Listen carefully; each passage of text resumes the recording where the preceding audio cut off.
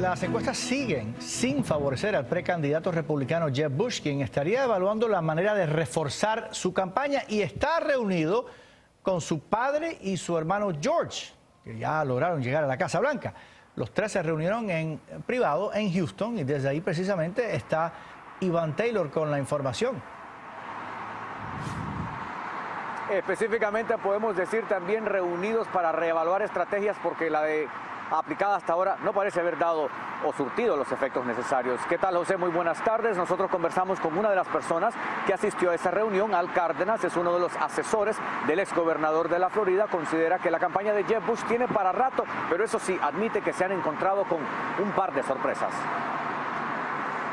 El fenómeno Donald Trump, su estilo, discursos y posición en las encuestas son parte de la razón por la que el precandidato presidencial Jeb Bush se ha reunido con algunos de sus allegados en Houston, uno de ellos Al Cárdenas. Lo que obviamente ha habido es sorpresa, porque cuando iniciamos esta jornada, ¿quién iba a saber que un Donald Trump iba a aspirar a la presidencia?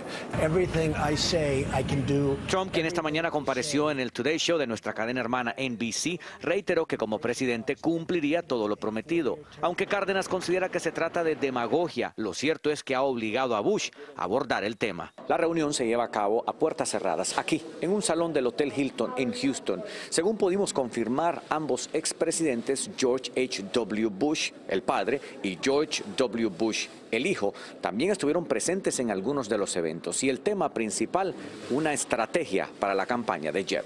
Cárdenas opina que el ex gobernador de la Florida saldrá victorioso en las primarias republicanas en marzo. Sin embargo, en la primera contienda en Iowa, Jeb Bush no figura en los primeros lugares de una encuesta revelada hoy. El neurocirujano retirado Ben Carlson está al frente con 32%, seguido por Trump Jeb aparece en el quinto lugar. Si se rompen todos los precedentes de la historia y el pueblo quiere escoger a un total desconocido, sin experiencia en el gobierno, que irrita no solo a miembros de su partido, pero al partido opositor, entonces no vamos a ganar las elecciones generales. Cárdenas cataloga como curiosidad el arrastre de Trump entre algunos republicanos. Según él, por el bien de su partido, esa euforia debe finalizar. El estratega republicano considera que el panorama podría cambiar para Jeb Bush en los próximos 45 días y específicamente cuando suceda la primaria en la Florida. Por supuesto que tendremos que esperar hasta que eso suceda. Hola, queridos internautas de YouTube. ¿Te gustó el noticiero? Suscríbete a nuestro canal, así podrás seguirnos viendo.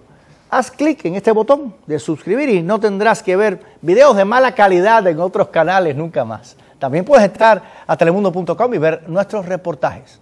¿Qué esperas? Suscríbete.